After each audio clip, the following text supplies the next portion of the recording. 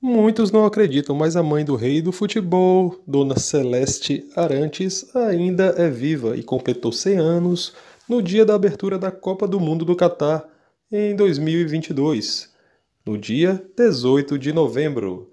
Dona Celeste é mãe do rei do futebol. O cortejo do corpo do rei Pelé passou na frente da casa de Dona Celeste em Santos.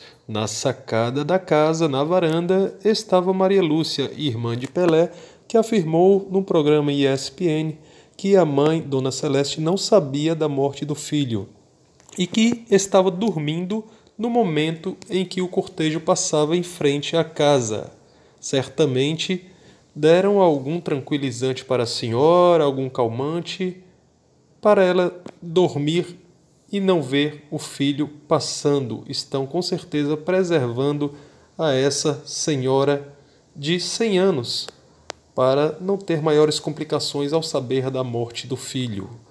Maria Lúcia estava na sacada e representou a família juntamente com outros familiares e fez orações com o povo, agradeceu a presença de todos que estavam saudando a passagem a última passagem do Rei Pelé.